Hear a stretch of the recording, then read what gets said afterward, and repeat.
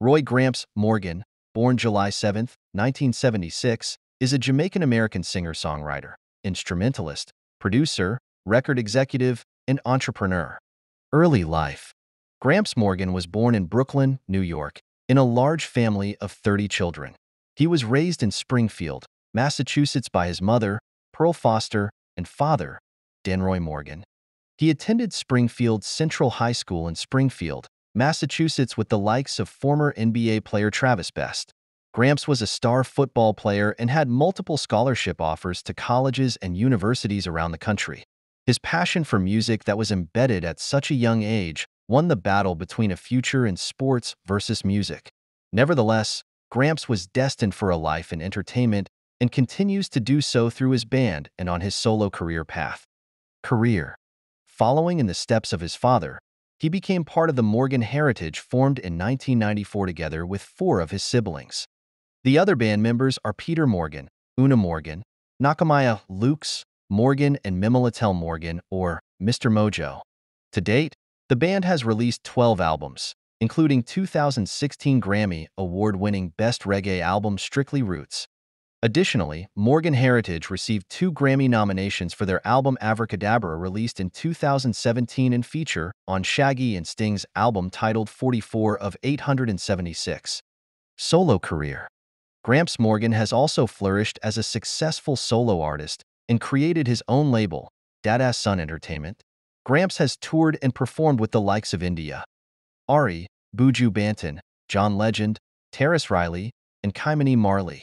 In 2009, Gramps released his debut solo album entitled Two Sides of My Heart, Volume 1, which earned him a number of awards. He was also featured on the India Arie song Therapy that charted in the United States.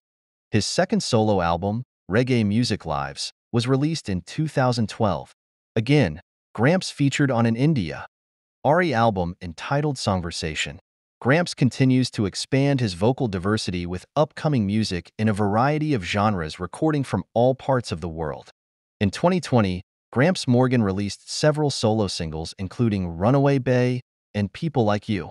The latter was nominated in 2021 for three International Reggae and World Music Awards, IRAWMA, in the categories of Best Song, Best Crossover Song, and Best Gospel Song, and won the award for Best Gospel Song. Gramps Morgan was also nominated for Best Male Vocalist. In August 2021, Gramps Morgan released his third solo album, Positive Vibration, produced by Canadian Juno award-winning singer-songwriter Johnny Reid. The album features guest appearances by India, Arie, Shaggy, Libran, Denroy Morgan, and Jemere Morgan.